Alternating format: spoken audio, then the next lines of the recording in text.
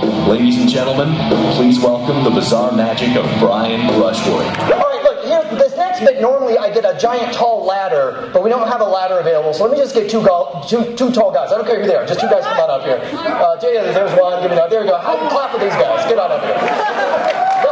Fine, but all three of you ass. Sorry, I almost cursed.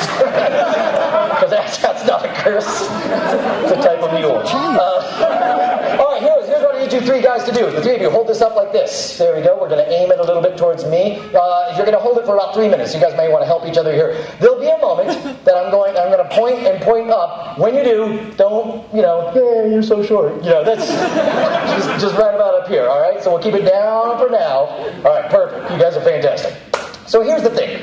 Over the last 10 years, I've toured all over the United States doing really stupid stuff. But in this decade, of everything I cooked up, nothing is quite as dumb as what you're about to see. This thing is so stupid, it got me on The Tonight Show with Jay Leno, got me on two dozen TV appearances as far away as Istanbul, Turkey, and uh, Indonesia. It's so dumb, I'm not actually going to tell you in advance what it is. We're going to play a guessing game, and we're going to see if you can figure out where this is headed before I get there. The, the only clue you get as to what you're about to see is that it's called human crazy straw. Here we go. That's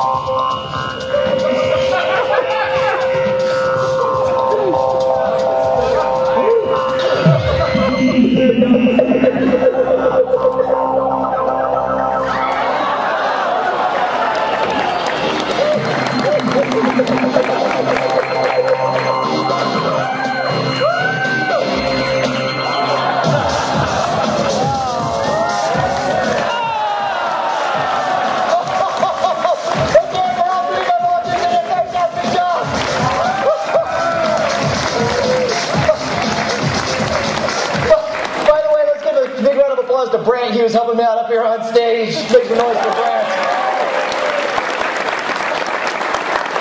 I was trying to show Brant some love early on because he's the poor bastard who has to clean that up. uh, hey, I'll tell you what, you guys, thank you very much. Uh, as soon as you guys head off, Brant's going to get each of you a copy of uh, Cheats, Swindles, and Tricks.